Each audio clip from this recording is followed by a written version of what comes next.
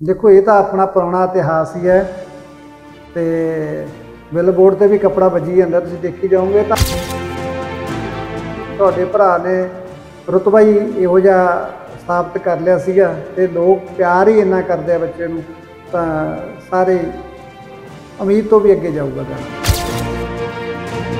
ਨਾਮ ਦਿੱਤੇ ਹੋਏ ਨੇ ਹਨਾ ਰੁੱਖ ਪਾਸੇ ਕਰੀ ਨੇ, ਝੋਟਾ ਖੁੱਲ ਗਿਆ, ਕੋਈ ਕੁਝ ਕਹੀਏ ਨਾ ਇਹ ਤਾਂ ਉਹਦਾ ਪਿਆਰ ਹੈ। ਪਤਾ ਲੱਗਿਆ ਹੈ ਨਾ, ਸਭ ਤੋਂ ਪਹਿਲਾਂ ਤਾਂ ਮੈਂ ਮਾਨਯੋਗ ਹਾਈ ਕੋਰਟ ਦਾ ਧੰਨਵਾਦ ਹੀ ਕਰਦਾ ਕਿ ਦੇਰ ਸਹੀ ਟਾਈਮ ਤਾਂ ਲੱਗਿਆ 6-7 ਮਹੀਨੇ, ਪਰੰਤੂ ਉਹਨਾਂ ਨੇ ਦੁਬਾਰਾ ਨੋਟਿਸ ਲਿਆ ਹੈ।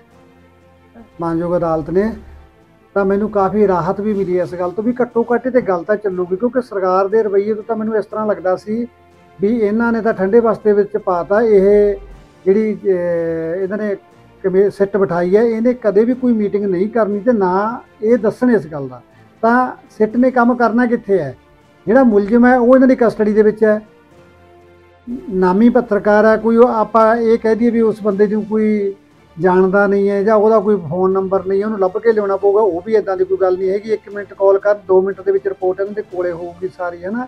ਪਰੰਤੂ ਕਰਨਾ ਨਹੀਂ ਚਾਹੁੰਦੇ।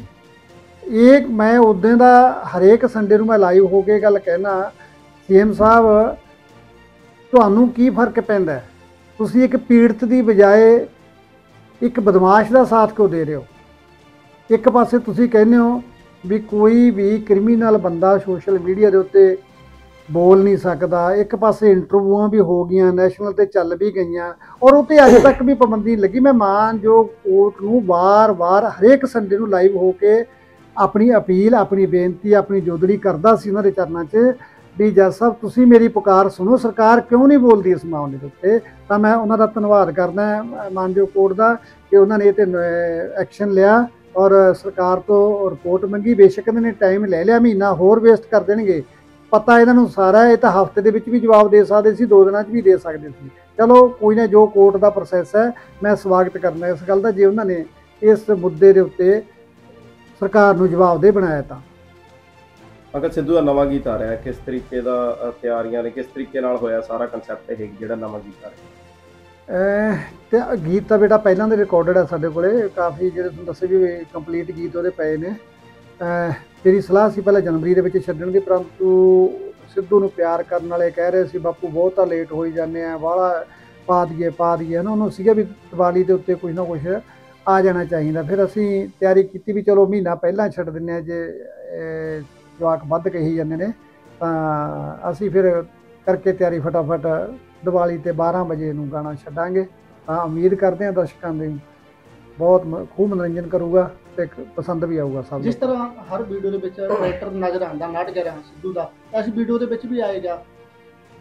ਅਹ ਨਾਟਕਾਂ ਦਾ? ਨਾਟਕ ਰਿਹਾ ਟਰੈਕਟਰ ਹਰ ਇੱਕ ਵੀਡੀਓ ਦੇ ਵਿੱਚ ਗੀਤ ਦੇ ਵਿੱਚ ਦਿਖਾਈ ਦਿੰਦਾ ਸਿੱਧੂ ਦੇ ਜੀ। ਇਸ ਵੀਡੀਓ ਦੇ ਵਿੱਚ ਵੀ ਕੋਈ ਬਿਲਕੁਲ, ਕਿਉਂਕਿ ਇਹ ਤਾਂ ਆਪਣਾ ਇੱਕ ਨਾਮ ਹੀ ਬਣ ਗਿਆ, ਪਹਿਚਾਣ ਹੀ ਬਣ ਚੁੱਕਿਆ ਆਪਣੀ ਸਿੱਧੂ ਦੀ, ਸਿੱਧੂ ਸ਼ੁਭਦੀਪ ਕਹਿ ਲਈਏ ਜਾਂ ਨਾਟਕਾਂ ਕਹਿ ਲਈਏ, ਉਹਦੇ ਚ ਕੋਈ ਹੁਣ ਅੰਤਰ ਜਿਹਾ ਨਹੀਂ ਲੱਗਦਾ, ਕਿਉਂਕਿ ਇੰਨੀ ਅਟੈਚਮੈਂਟ ਇੰਨੀ ਲਗਾ, ਇੰਨਾ ਨੇੜਤਾ ਇਸ ਟਰੈਕਟਰ ਦੇ ਨਾਲ ਹੋ ਚੁੱਕੀ ਹੈ।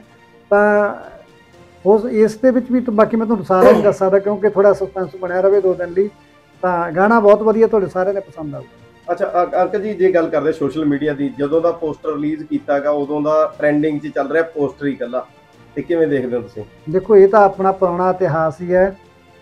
ਤੇ ਬਿਲਬੋਰਡ ਤੇ ਵੀ ਕੱਪੜਾ ਵੱਜੀ ਜਾਂਦਾ, ਤੁਸੀਂ ਦੇਖੀ ਜਾਓਗੇ ਤਾਂ ਇਹ ਤਾਂ ਕੁਦਰਤੀ ਗੱਲ ਹੈ, ਕਿਉਂਕਿ ਤੁਹਾਡੇ ਭਰਾ ਨੇ ਰੁਤਬਾ ਹੀ ਇਹੋ ਜਿਹਾ ਸਥਾਪਿਤ ਕਰ ਲਿਆ ਸੀਗਾ, ਤੇ ਲੋਕ ਪਿਆਰ ਹੀ ਇੰਨਾ ਕਰਦੇ ਆ ਬੱਚੇ ਨੂੰ, ਤਾਂ ਸਾਰੇ ਉਮੀਦ ਤੋਂ ਵੀ ਅੱਗੇ ਜਾਊਗਾ ਗਾਣਾ।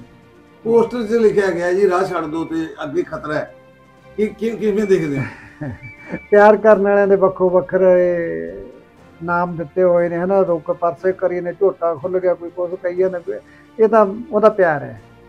ਕਿਉਂਕਿ ਪਤਾ ਹੈ ਵੀ ਉਹਨੇ ਅਹ, ਫਿਰ ਹੋਰ ਕਿਸੇ ਦੀ ਦਾਲ ਗਲਦੀ ਨਹੀਂ ਜਦੋਂ ਜੱਟ ਕੇ ਇੱਕ ਵਾਰੀ ਆ ਗਿਆ ਸਕਰੀਨ ਤੇ। ਖੁਸ਼ੀ ਹੁੰਦੀ ਹੈ ਇਸ ਗੱਲ ਨੂੰ ਦੇਖ ਕੇ ਸਕੂਨ ਮਿਲਦਾ ਹੈ ਕਾਫੀ।